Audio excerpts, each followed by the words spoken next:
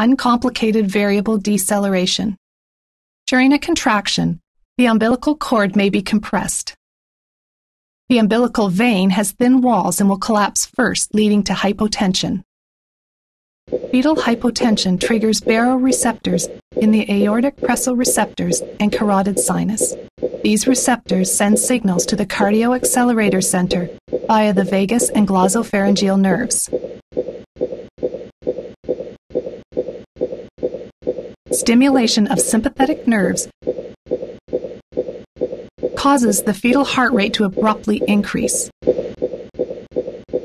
This is called an initial acceleration.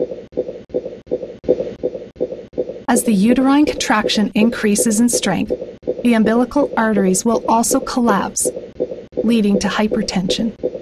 Fetal hypertension triggers the baroreceptors to send signals to the cardioinhibitory center.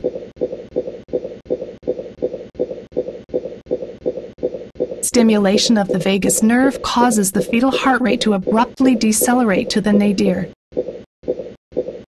This is called an uncomplicated variable deceleration.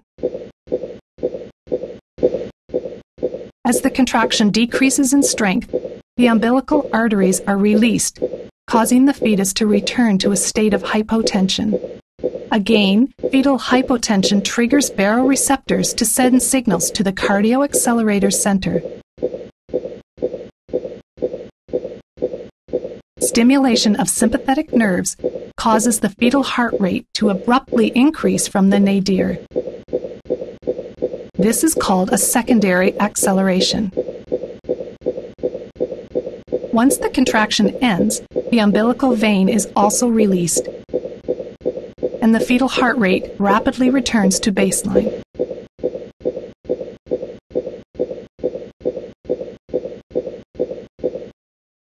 When variable decelerations are associated with uterine contractions, their onset, depth, and duration commonly vary with successive uterine contractions.